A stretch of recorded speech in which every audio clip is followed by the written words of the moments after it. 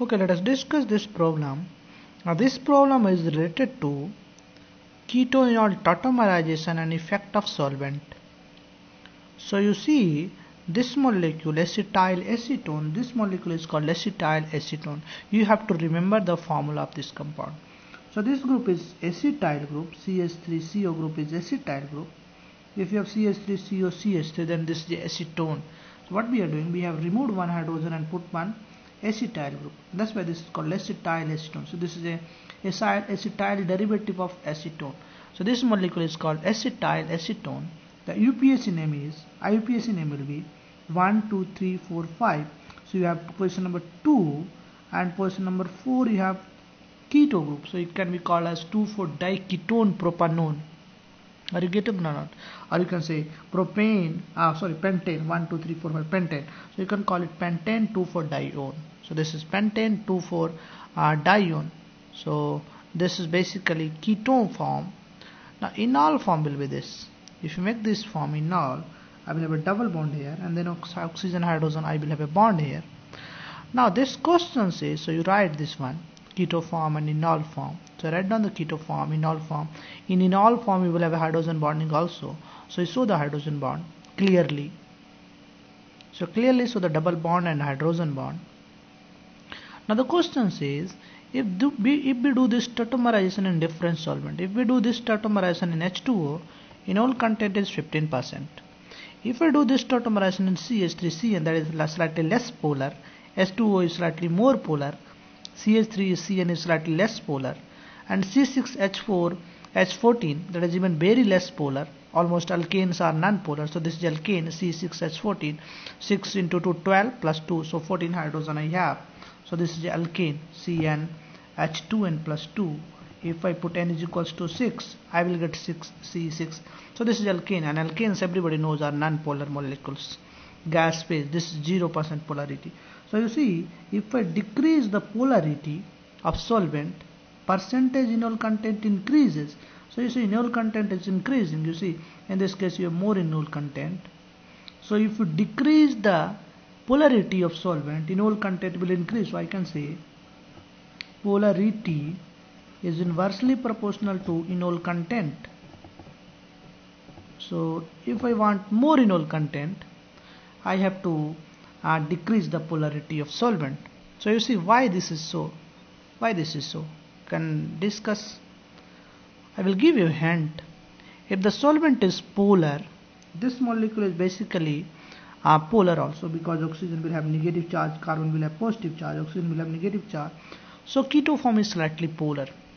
So if the solvent is polar and keto form is also polar, it will try to stabilize this keto form but if solvent is not polar it will not stabilize the keto form are you getting or not? So let me give you 30 seconds to think a lot and then we'll discuss finally.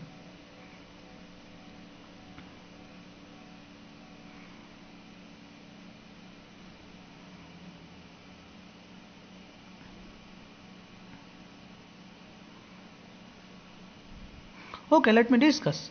So if you see in a polar form in polar solvent this molecule gets stabilized. So reaction will have tendency to go this side. In very non-polar solvent this molecule will not uh, stabilize.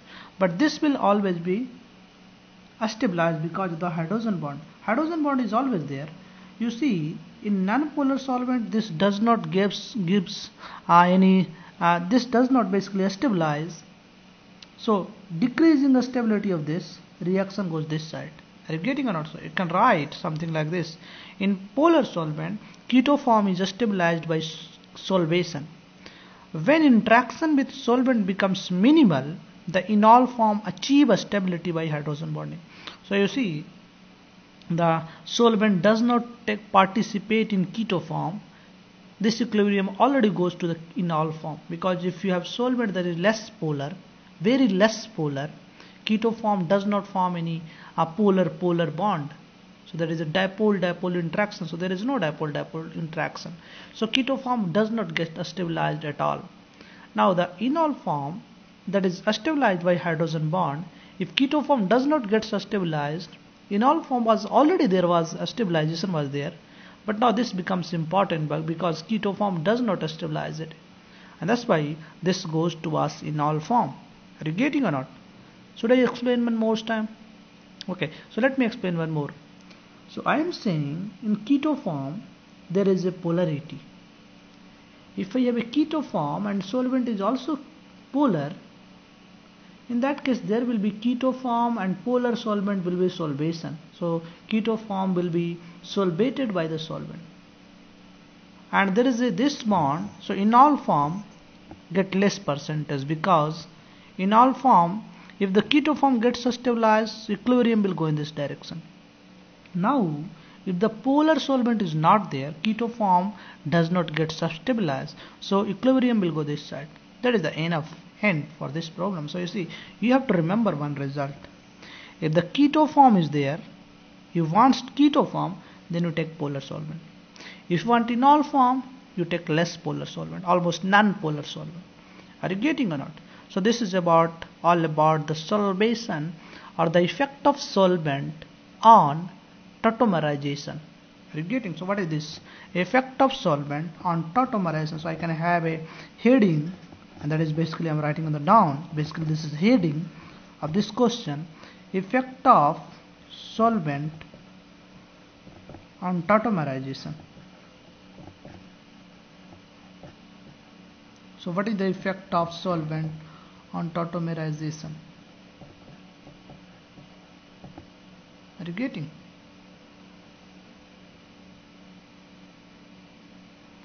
Okay let us copy this one and then we'll discuss the next problem. I think you have I copied this one now okay good. We'll discuss the next problem